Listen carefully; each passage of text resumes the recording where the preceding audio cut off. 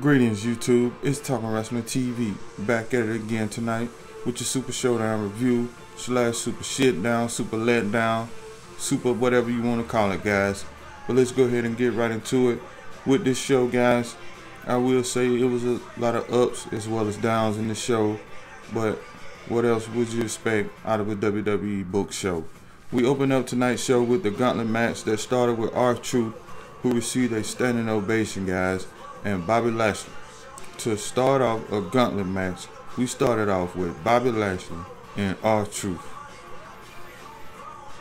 Well, tonight we will see Bobby Lashley get squashed by R-Truth. That's right, guys. R-Truth in this matchup, he pinned Bobby Lashley, and he also, guys, believe it or not, pinned the returning Andrade to start off this damn gauntlet match. He was able to defeat Eric Rowan by disqualification, and then out come AJ Styles to make his ass tap out. Now AJ Styles was waiting on his last opponent that we thought was going to be Rey Mysterio, but it wasn't because he was attacked backstage by the club, Gallows and Anderson guys, and then we seen them get attacked by the Phenom, The Undertaker, who made his appearance, came down to the ring, guys, and with the second weakest choke slam I've ever seen The Undertaker do, he defeated AJ Styles.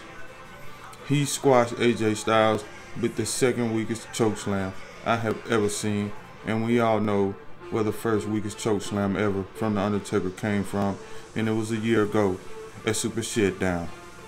But guys, I was hoping that WWE would be building towards AJ Styles and The Undertaker, but after this, I don't want to see The Undertaker in the WWE ring ever again. He can't even pull off a straight up choke slam, guys. The Undertaker at this point in his career, just like Goldberg, need to just take that ball and go home. We don't want no part of The Undertaker and Goldberg right now on WWE TV. WWE has too many talented superstars to still just be building old guys in Goldberg and The Undertaker. But there you have it, guys, in the meaningless trophy gauntlet match. The Undertaker, of all people, won this damn trophy here tonight to start off Super Showdown. Next up, we will see the SmackDown Tag Team Championship matchup between The Miz and Morrison and The New Day. And guys, when um, Big E was looking the hell out that title before the match, I knew right then it was no way The New Day was going to retain the tag titles.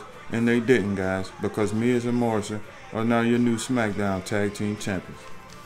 Next up, we will see Angel Garza and Humberto Carrillo in a rematch from this past Monday night on Raw it would be a good matchup, but nothing like their matchup this past Monday on Raw. And another pressure win, guys, by Angel Garza. I can't say I am a fan of him now. He's looking like he's going to have a good push here on the main roster, and I can't wait to see that tag team matchup with all four men this Monday night on Raw. Should be a great epic tag match, guys.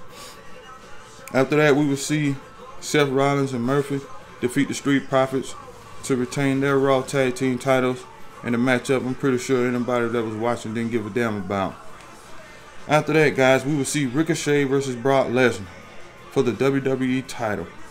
It will be Lesnar with three hellacious suplexes, guys. I'm talking about he suplexed the hell out of Ricochet tonight, picked him up, caught him in the air, and give him one F5 to retain the WWE title. Where does Ricochet go from here, guys? Back down to the bottom of the barrel where he should have been all along, guys. This should have been Bobby Lashley tonight in this role, in my view, guys. But Brock Lesnar looking strong going into WrestleMania. After that, it would be Roman Reigns defeating Queen Corbin in a steel cage match, and I'm glad this rivalry. I hope it's over and over for good.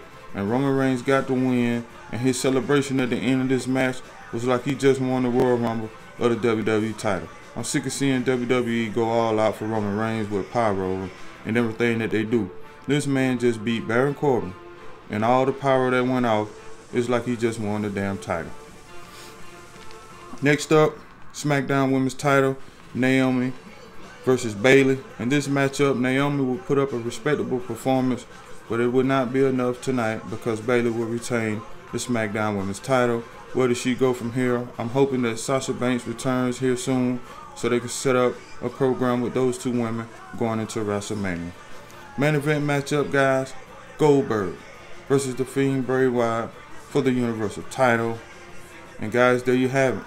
Goldberg with four spears and a jackhammer to simply squash the Fiend Bray Wyatt. Now, where does WWE go from here? I'm hoping that we see a rematch here on SmackDown next couple weeks or even at Elimination Chamber. Because after seeing Goldberg in the ring tonight, I don't think he's ready to go at WrestleMania against John Cena or Roman Reigns. So I don't know what WWE is planning on doing with this Universal title going into WrestleMania, but they need to get it together and they need to do that fast, guys. Like I said, guys, it was an alright show. It had its ups, it had its downs. But like I say, what would it be without ups and downs in a WWE book show? We got Friday Night SmackDown tomorrow where the return of John Cena will be live on the show tomorrow to see what his next move will be going into WrestleMania as well, guys.